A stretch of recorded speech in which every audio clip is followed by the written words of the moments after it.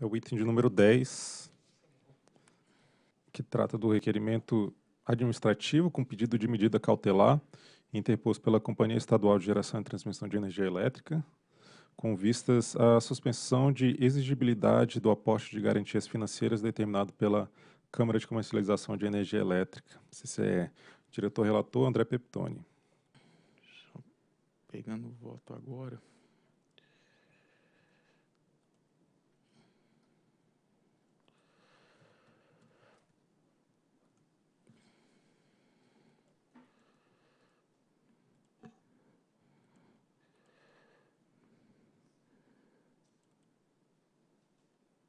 Tem dez.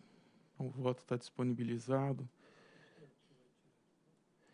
Pois é, deixa eu ler aqui o voto, aí a gente faz uma discussão.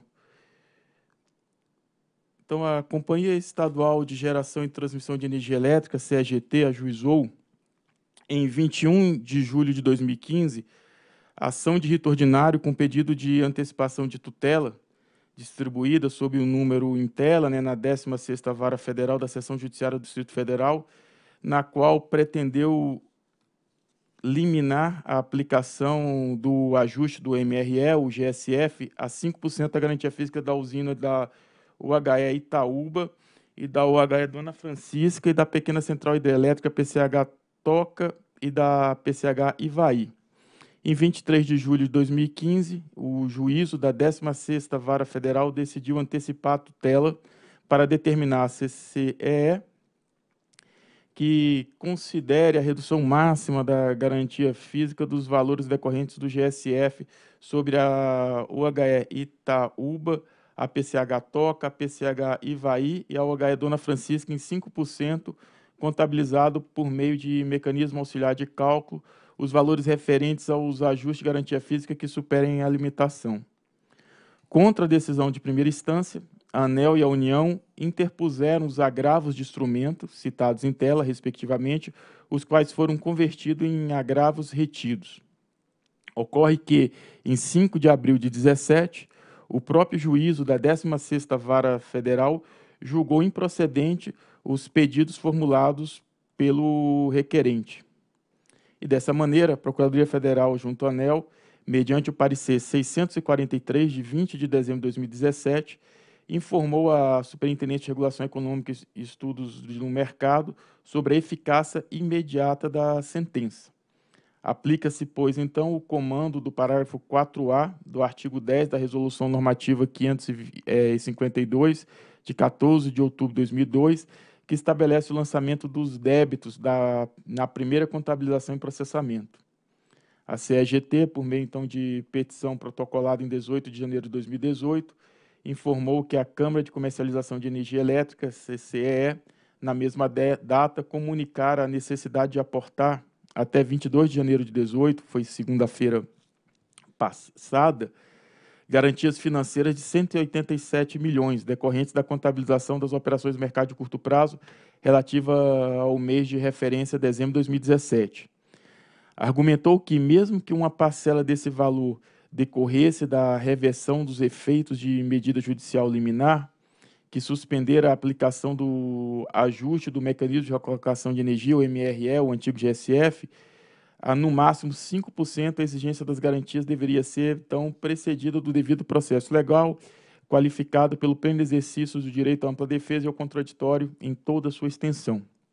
Assim, solicitou providência cautelar para suspender a exigibilidade do aporte das garantias financeiras até que fossem apreciadas em decisão colegiada fundamentada as razões de fato e de direito que a requerente visse, viesse a apresentar e que viesse a diretoria colegiada dessa ANEL a deliberar sobre eventual parcelamento dos débitos.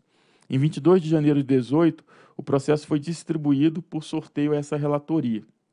E por intermédio de ofício de 22 de janeiro de 18, a CE informou que não é, irá proceder ao aporte das garantias na data de hoje, né, 22 de janeiro, requerendo desde já que, que tal postura não enseje em apuração de responsabilidade ou aplicação de qualquer penalidade. A interessada, mediante então petição protocolada em 24 de janeiro, esclareceu que, entre as questões que a, a CE defende, é, pretende ver examinadas no devido processo legal, reivindicando por multicitado requerimento administrativo, destaca-se o tratamento a ser conferido, inclusive, antes de 17, aquelas hipóteses de deslocamento de geração hidrelétrica que, por não se con confundirem com o risco hidrológico a ser partilhado no mecanismo de locação de energia, não devem onerar os geradores hidrelétricos a título de fator GSF ou a título de ajuste MRE, a exemplos dos incisos 1 e 2 do artigo 2 da Lei 13.203 de 2015. E, com efeito, entende a CE que a disciplina legal em questão reconhece o fato de tais ônus não podem ser confundidos com um mero risco hidrológico, o único a ser compartilhado do MRE na forma do artigo 24 do decreto 2655 de 98. E, nesse sentido, possui o efeito meramente declaratório de promover tal reconhecimento, o que é SANEL, obviamente, poderia haver realizado para o período anterior a 17. Então, na mesma petição, noticiou a CE que obtiveram nos autos mandato de segurança, medida liminar que suspendeu a exigibilidade do aporte de garantias financeiras até decisão definitiva da ANEL quanto ao requerimento administrativo nos seguintes termos. Então, hoje a, a CE tem uma, uma medida judicial que a sustenta né, de participar da contabilização e liquidação da CE, até decisão definitiva da ANEL. 24 de janeiro de 2018, essa relatoria se reuniu com representantes da requerente, veio aqui a diretoria da, da CE, e requereu então a instauração de processo administrativo para que pudesse apresentar argumentos quanto à legitimidade e à composição do débito que lhe for imputado pela CE. Então, foi o, a CE fez essa, essa requisição na reunião em que, inclusive, a Procuradoria participou, é o relatório. Procuradoria. Então, trata-se de requerimento administrativo com pedido de medida cautelar em que o agente requer o parcelamento dos débitos relativos à reversão de provimento judicial que limitava a aplicação do fator GSF em 5% das garantias físicas das usinas hidrelétricas Itaúba, Dona Francisca, IPCH, Toca e Ivaí. Como toda medida cautelar, é exigido para o seu é, deferimento os requisitos da fumaça do bom direito e do perigo da demora, o que, no entender da Procuradoria, não estão presentes. De fato, com relação à fumaça do bom direito, na reunião passada, a diretoria afirmou um entendimento no sentido de que seria possível o deferimento dos pedidos de parcelamento desde que o agente desistisse voluntariamente da ação judicial, com efeitos benéficos para a redução ina, da inadimplência do MCP. Porém, no, no, neste caso, não se trata de pedido de repactuação ou de desistência da ação judicial. O que houve foi que o agente estava amparado por uma decisão liminar, precária, que foi revogada com a aprovação da sentença de mérito que julgou improcedente o pedido de limitação do GSF após considerar que eventuais perdas financeiras são inerentes do MRE e decorrem do próprio risco da atividade econômica, ou seja, não há não havia ilegalidade a justificar a intervenção judicial.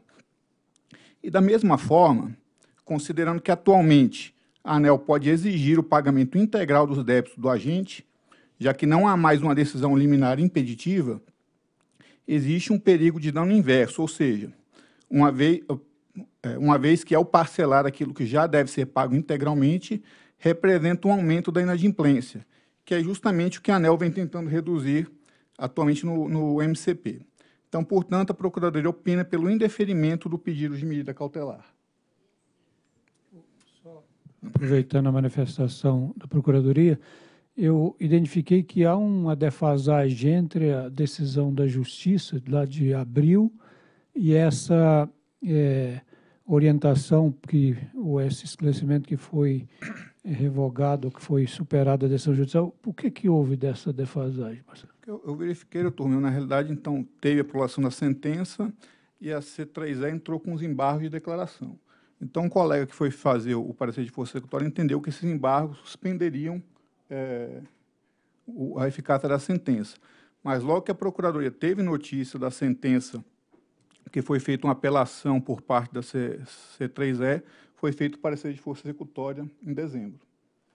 Mas, assim, só para minha compreensão, esse embargo não suspende a decisão ou suspende? É, existia uma dúvida se Existe suspendia ou não. Né? Tá. Mas aí depois a gente sentou e, fazendo essa interpretação, entendeu que não suspende. Então, hoje, a decisão é plenamente exequível. Okay.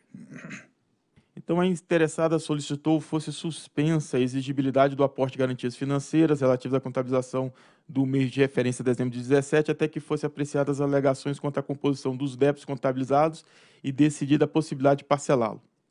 Consoante informação da CE, obtida pela Superintendência de Regulação Econômica e Estudos de Mercado, o débito acumulado pela requerente no mercado de curto prazo, em decorrência de medida liminar, totalizou 246 milhões na contabilização do mês de referência de dezembro de 17. Ocorre que, em razão de existência de créditos de mais de 68 milhões, o montante devedor da requerente foi reduzido para 178 milhões, razão pela qual, nos termos da regra de comercialização, lhe foi comunicada a necessidade de aportar garantias de 187 milhões, ou seja, débito mais 5%.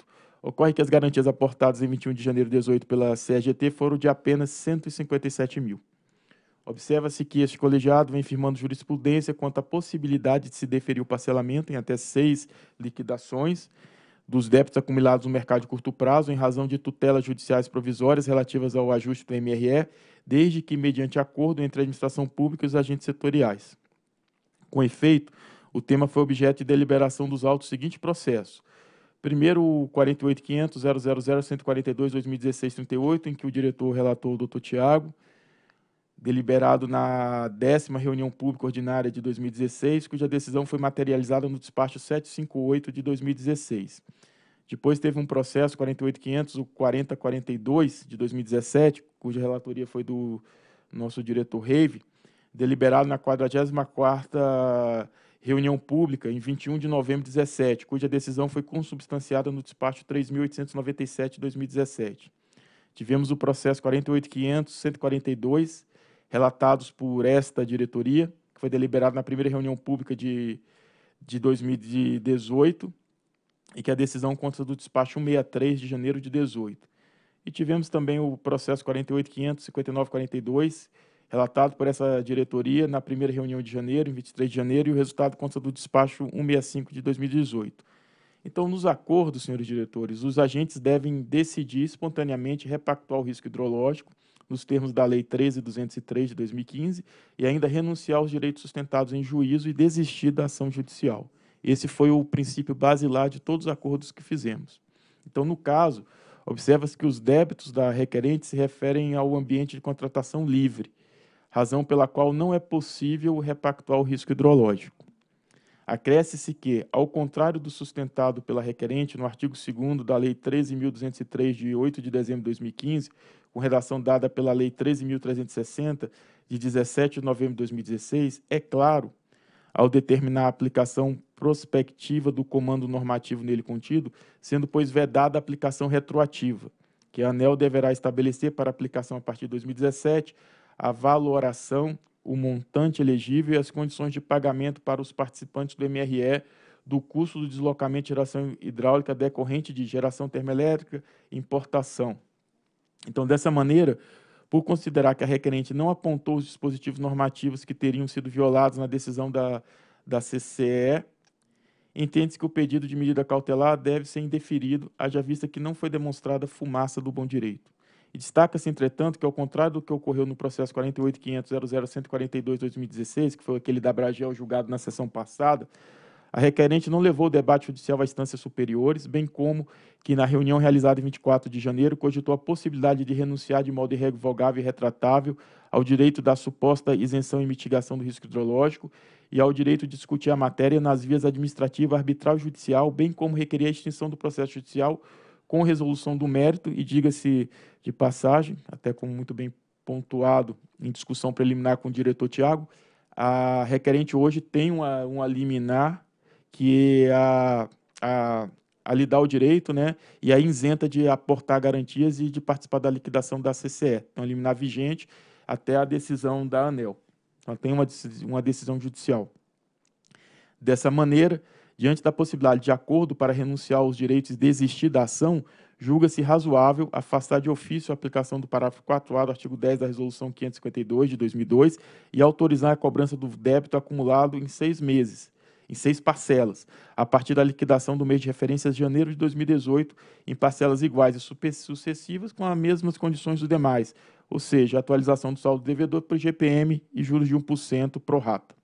Então, não obstante, deve-se fixar como condição resolutiva a suspensão da cobrança e, e do parcelamento, a ausência do protocolo pela requerente na ANEL e na CCE até 20 de fevereiro, uma terça-feira, dois dias antes da contabilização relativa ao mês de referência de janeiro de 2018, do comprovante da renúncia de modo irrevogável e retratável ao direito à suposta isenção ou mitigação do risco hidrológico no MRE e ao direito de discutir a matéria nas vias administrativas, arbitral e judicial bem como do requerimento da extinção do processo judicial com resolução do mérito. Passo ao dispositivo de voto.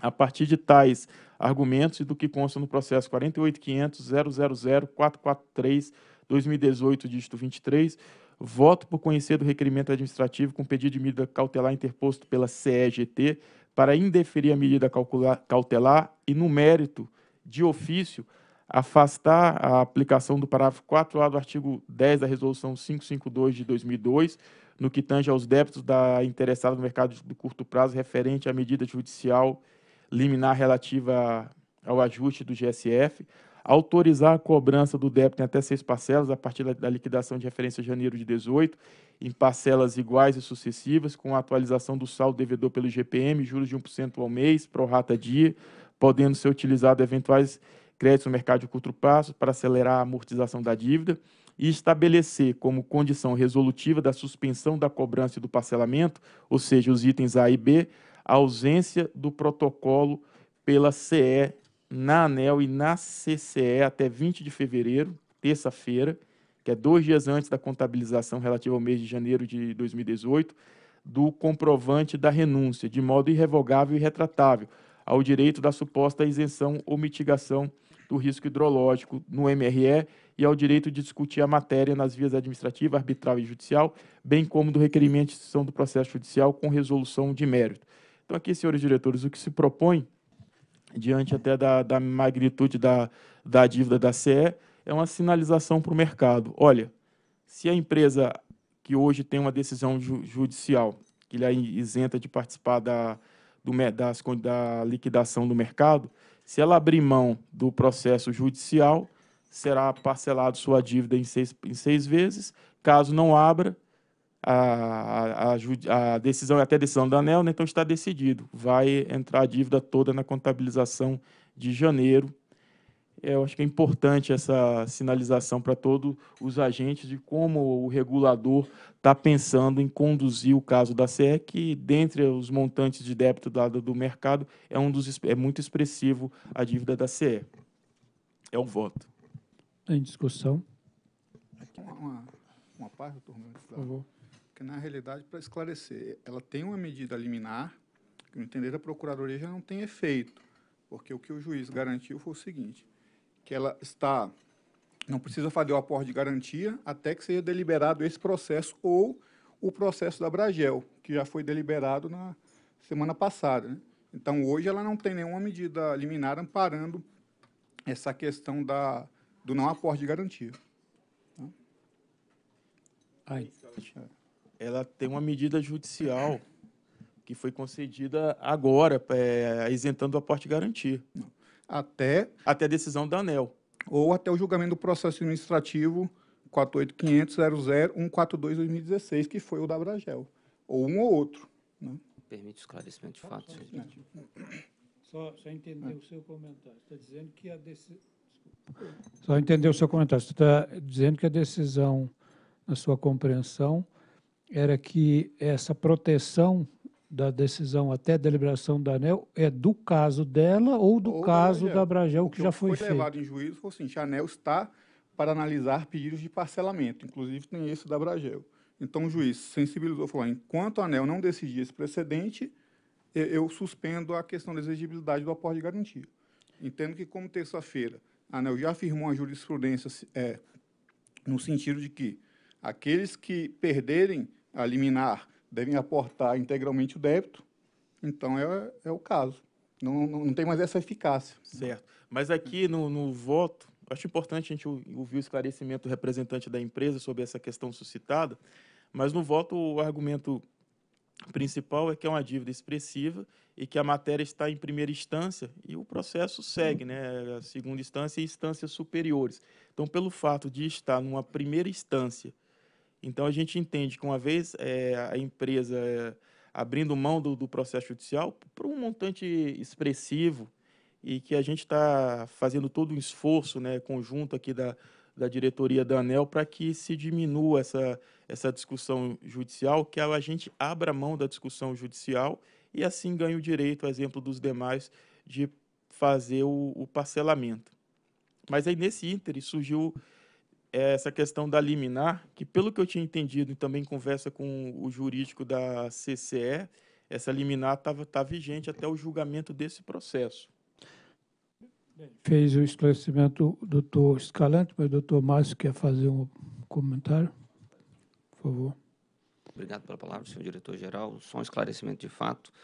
É, todo respeito e vênia devido ao procurador-geral, no entendimento da C3EGT, o mandato de segurança cautelatório protege a companhia do pagamento dos aportes de garantia e das obrigações de liquidação financeira até a decisão definitiva dos presentes autos e a vinculação aos autos da Abragel era que, caso naquele caso, naquele processo, houvesse a decisão com eficácia geral e, e abstrata, alcançando a C3EGT, poderia ter por definida a situação lá. Não havendo esta situação se concretizado, no alcance do dispositivo, ao ver da CEGT, a disposição acautelatória vale até a conclusão em definitivo do presente processo apreciado por Vossa Excelência. Obrigado.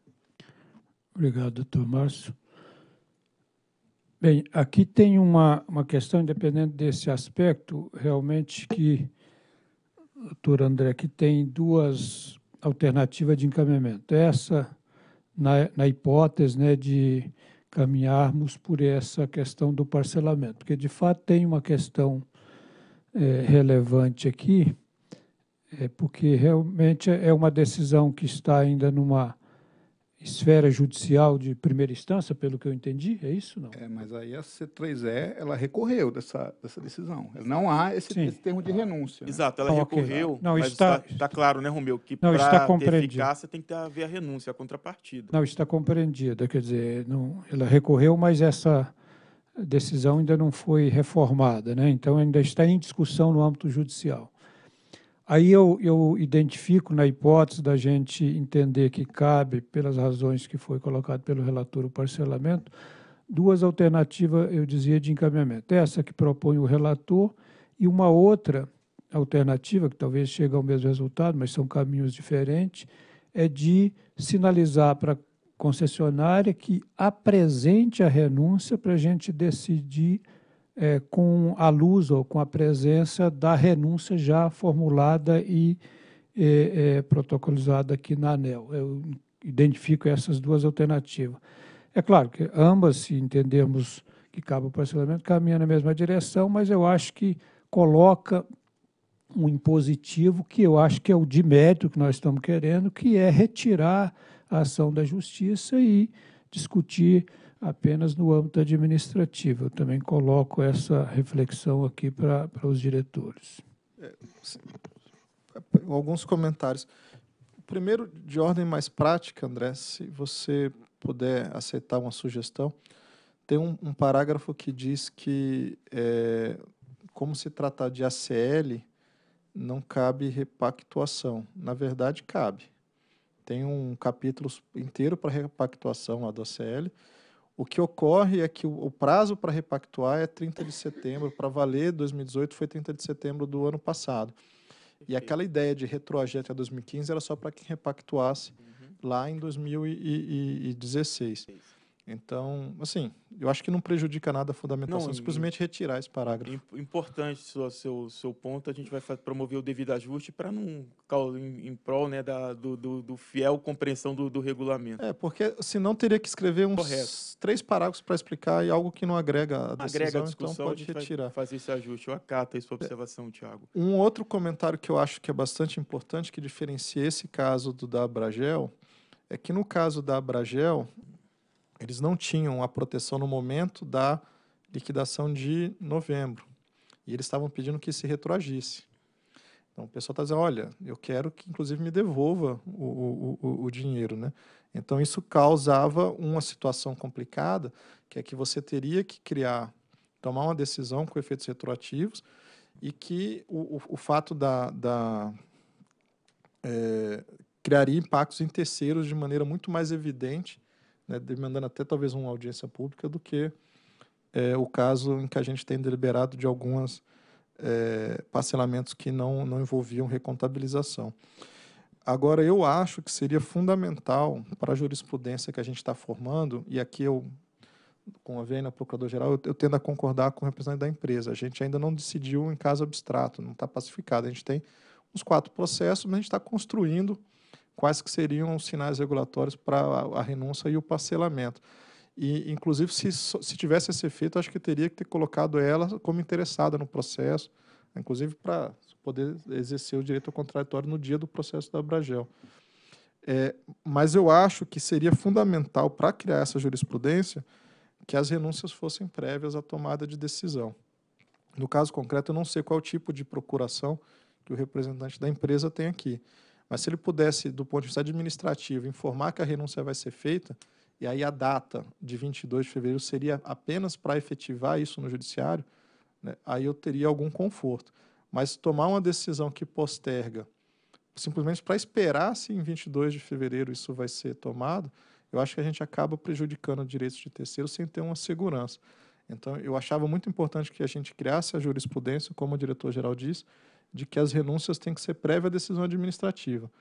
A gente pode até aceitar uma renúncia administrativa aqui, dizer, olha, você tem tantos dias para formalizar isso no judiciário. Veja, deixa eu fazer uma ponderação aqui. A gente, eu também, Tiago, assim como você, eu entendo que e até discutido já também com bastante critério, a gente entende que a, a CE tem uma liminar válida e que essa liminar ela se exaure com o julgamento do caso. A gente está tratando de uma quantia expressiva, isso movimenta o mercado. E quando tratamos com o mercado, é um, uma diversidade de agentes e a transparência é um valor que eu classificaria como sublime. Talvez nós, três diretores da ANEL, em nossas reuniões lá no gabinete, nas prévias, a portas fechadas, sabemos como queremos conduzir o, o, os autos. Mas o mercado não sabe. O mercado fica fazendo ilações, criando teses. Então, é, é por isso que, até, diretor-geral, eu coloquei, fiz questão de, de trazer e ler esse processo para dar o sinal para o mercado. O que é que os diretores da ANEL estão pensando? Em como conduzir esse caso? É um valor significativo, e o, a, o encaminhamento de, de decisão está claro. Olha, nós não, não, não assistimos razão à parte, indeferimos o recurso, salvo a parte é, rejeite né, a discussão judicial, exemplo de tudo que está sendo feito, e que será conferido o parcelamento. Tomar essa decisão agora, eu acho que agrega muito valor em prol da, da transparência. Então, tá, a decisão está tomada. E é, é, aquilo que o que nós estamos pensando, a gente está tá materializando e está pulverizando com toda a sociedade. É um valor importante para o regulador a transparência. Então, o que estamos pensando? É o que está dito. É uma, é uma situação, é uma cláusula resolutiva. Ou você desiste da ação e parcela e dá o prazo, ou se não desiste da ação, bom, aí continue buscando medidas judiciais, mas como a sua primeira decisão é, liminar não vale, porque a matéria está decidida, então caiu já. Na, na liquidação de janeiro vai ser debitado, né, já vai ser contabilizado e liquidados os 108 para aproximadamente 180 milhões. Eu acho que é essa, essa forma de agir importante. De novo, pela magnitude dos valores envolvidos. E a questão da, da separação com o caso da Abragel, para que não haja é, para que não haja questionar é, argumentação de similaridade, acho que o Tiago foi muito feliz em, em suas colocações, são casos completamente distintos. Um estava com decisões de tribunal superiores, o outro está em primeira instância, e como bem pontuou o procurador, já questionando né, a decisão de primeira instância no tribunal de, de segundo grau, cabendo ainda o questionamento ao tribunal superiores. Então, isso, é essa é, o, é uma situação suficiente para a gente exigir, aí fica a critério da empresa. E esse encaminhamento de decisão também é uma manifestação importante para que os conselheiros da empresa, a CE, é, vai ter, deve tomar essa decisão por meio do seu conselho. Então, até para dar é, segurança até para os seus conselheiros da decisão a ser tomada. Porque vamos se, é, nos, é, se colocar no local, no lugar de um conselheiro da CE ao aplicar a decisão. Aqui já está diante de um cenário concreto. A sinalização do regulador é ou você corre o risco de enfrentar uma, uma decisão judicial e não se proteger, ter que arcar com 200 milhões, ou então está feito o aceno em prol de todo esse esforço que estamos fazendo para o mercado, para desjudicializar e para também reduzir a, a inadimplência, e está sendo proposta a seis parcelas. Por isso eu acho importante, até simbolicamente por essa causa, que a gente encaminha a decisão, até em prol da transparência e da sinalização que está sendo dada para o mercado. Bem, eu, eu acho que essa sinalização, de certa forma, nós já estamos dando aqui com a discussão e, de alguma maneira, com o endereçamento que foi discutido nessa reunião. Não necessariamente precisa da decisão. Eu acho que o, representante da empresa, o doutor Tiago, por mais ampla que possa ser a procuração, eu acho que ele não pode aqui assegurar de que eles vão tirar a ação na justiça, porque certamente ainda passará por uma deliberação nos fóruns competentes, como disse o doutor André, possivelmente do Conselho de Administração, e não depende só de uma vontade da, da empresa. Né? Então, eu acho que essa é, segurança de que ele vai tirar a ação da justiça, por isso que, André, mais uma vez, eu entendo que a jurisprudência que eu gostaria, pelo menos no meu ponto de vista, de formar, é nessa linha que o Tiago colocou, ou seja, se quer realmente um pedido de parcelamento, tem que estar resolvida a questão judicial, ou pela via de uma decisão final ou pela desistência da ação. Então, a sinalização que eu acredito para dar o, o conforto à administração, eu acredito que está sendo dada aqui. Né? Eu, pelo menos, estou manifestando aqui a minha disposição, em nome realmente dessa, é, vamos dizer assim, da retirada da ação, de baixar o nível de judicialização, eu acho que tem uma certa semelhança com o caso é, que nós já autorizamos, dos casos nós já autorizamos parcelamento. Então, a sinalização é que o parcelamento poderá ser concedido, mas eu acho que é uma questão de precedência para que essa decisão seja tomada, é preciso que eles apresentem a desistência da ação judicial, é o meu ponto de vista. Com relação a essa outra dúvida jurídica, eu acho que, se de fato não deliberarmos o processo hoje, seria a oportunidade do próprio procurador é, é, reavaliar, se for o caso, essa questão para ver se, afinal de contas, está vigente ou não essa decisão judicial. Claro que ele já opinou aqui nesse sentido, mas como aqui foram apresentadas ponderações em outra direção, acho que vale essa revelação. Mas, de novo, no meu ponto de vista, isso não é tão relevante para o mérito do que nós estamos discutindo. O que nós estamos discutindo o mérito é que, com ou sem a proteção, existe uma questão ainda pendente no âmbito do judiciário, quer dizer, não é a decisão final. Né? Então, essa conveniência de retirar isso da justiça ainda existe, qualquer que seja o estágio, com ou sem uma liminar vigente, porque ele pode, como de fato parece que já o fez, recorrer à instância superior. Então, o que nós gostaríamos é de ver esse assunto resolvido na esfera judicial. Então, André, apesar do, das suas considerações, eu, eu entendo ainda que seria mais seguro para o processo e para dar essa sinalização até de formar tal jurisprudência que essa desistência fosse prévia à nossa deliberação. Então, o que eu sugiro é isso, quer dizer, que a gente, tendo essa discussão aqui presente em audiência, em reunião pública, né, a sinalização está dada, eu acho que a administração terá o conforto, conforto mínimo, né? porque também não precisamos propiciar o conforto pleno, porque quando ele entrou na justiça para questionar uma questão dessa natureza, ele está também assumindo riscos. Né? Entendi, Romeu. A... André, posso só, Sim, só mais um, um, comentário também. Bem, entendo que não tem. Eu imaginei que já tivesse uma deliberação prévia. É claro que a, a procuração normal não, não daria, né? Mas e não tendo é, a condição de dar segurança, eu achava importante que tivesse um, um comando dispositivo dizendo que no caso da condição resolutiva do item C, o valor que vai ser cobrado, ele vai incidir correção, vai ser atualizado pelo IGPM mais juros de 1%, para a gente simplesmente não não dar uma pedalada, né? Não, aí é as condições normais. Não, mas aí não é o normal. A liminar caiu em, em, maio. Mas Como é não... é que ele corrigiu de maio até dezembro? Não, não é. Aí foi aquele 5%. Mas não é condição normal porque você suspendeu lá no item A o disposto lá no, no, no, no, no parágrafo.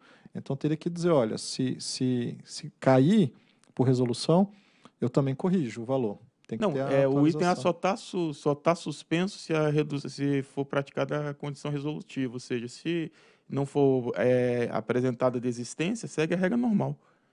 Tá, até está claro aqui, ó, estabelecer como condição resolutiva da suspensão da cobrança e do parcelamento definidos no item A e B.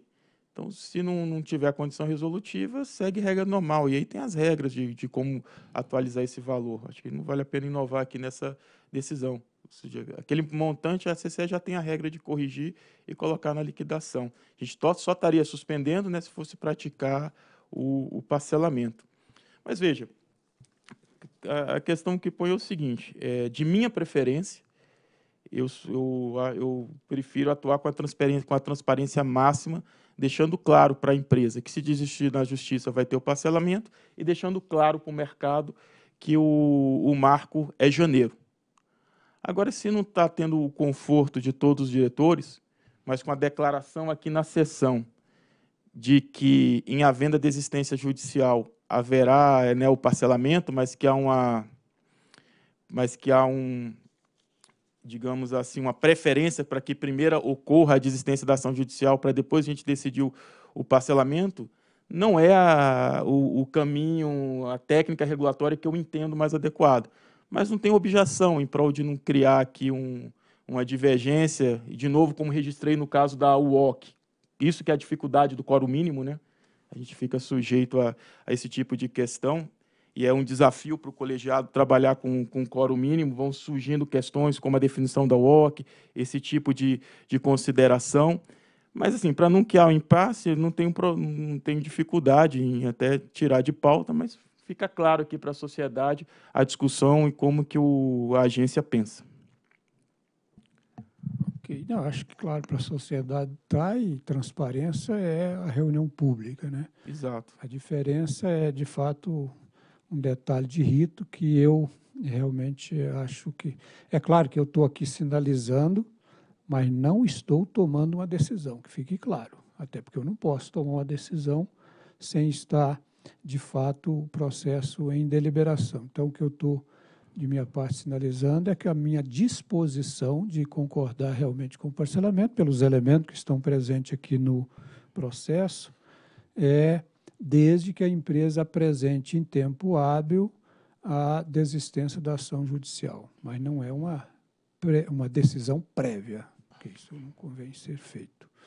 Mas então eu, eu, eu realmente tenho essa preferência, que fique claro. Então, se entendi que você, nessa linha aí, ainda que não seja a sua preferência, você vai retirar o processo de pauta. É isso, isso. aí a gente aguarda a retirada da decisão judicial para que proponha novamente o parcelamento. Ok. Então, retirado o processo de pauta, próximo item.